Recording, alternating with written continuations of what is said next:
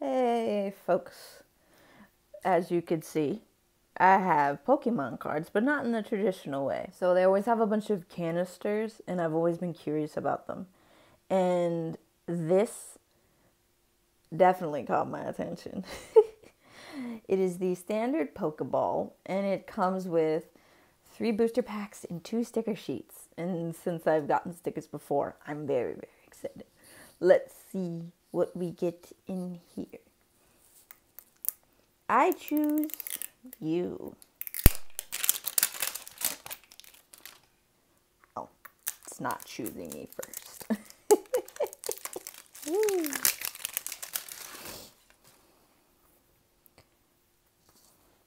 oh no. It got on the white of my Pokeball. That's fine though. See, do I just open this like a top? Oh, there we go.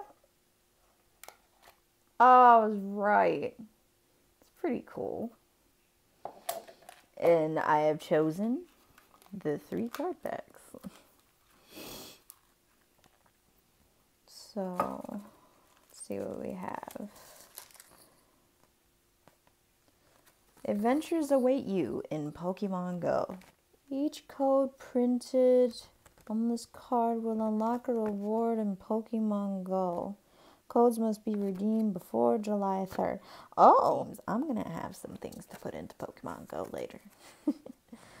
That's pretty awesome. So, yeah, cute little QRs. And I'm excited for the sticks. I'm not too happy that they're bent. but, ta-da! Larvitar. That's one. It's off center, but it's fine. I can't make this cry, but that is an Articuno.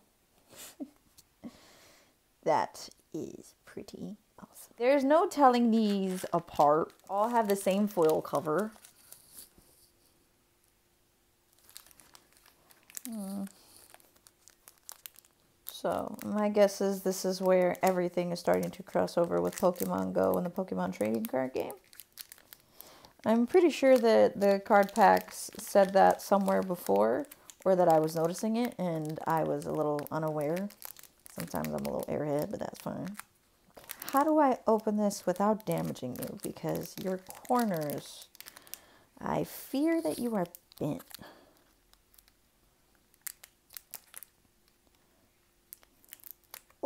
Here we go. I'm opening them away from me because again, they face the back. I saw colors, but I don't always read them. I will spoil. I already spoiled the first one, but I'd never seen it before. Now, that is an Onix.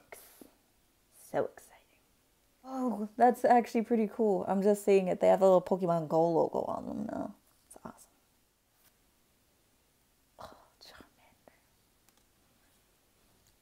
If you see me glancing off to the side, it's because I'm putting the cards down and I don't want to drop them.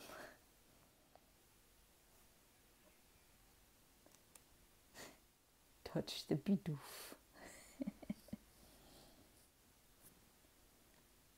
Oh, how do you pronounce this? Oh, Wimpod?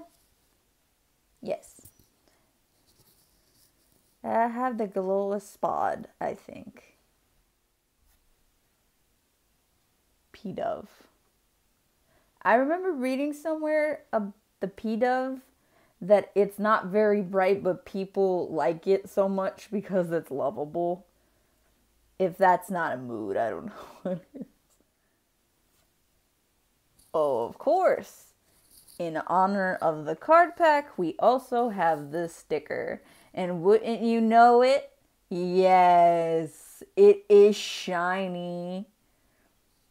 Articuno, Articuno. Way to start a card opening. That's awesome. Oh, I saw something shiny underneath this too, but I don't know what's underneath it. Let's do it together. Exeggutor. In Pokemon Go now, Exeggutor is also a dragon type.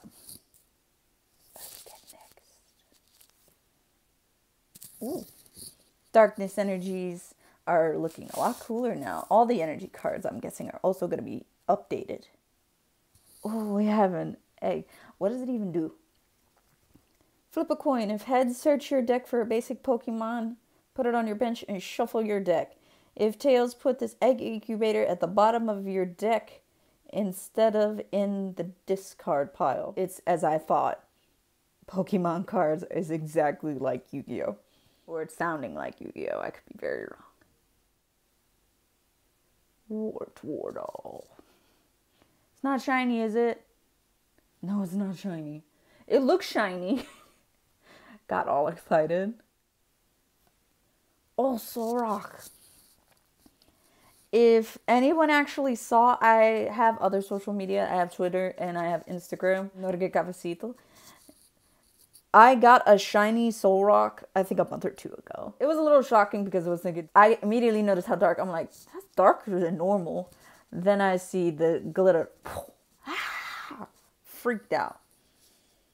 And that, as usual, as the QR code that I never use, it's gonna go into that pile that I have on my desk.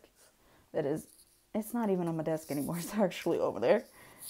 Uh, my partner moved all my Pokemon stuff off my desk, so only some of the cards are now on my desk and the rest are on a shelf. Should I be greedy and do two?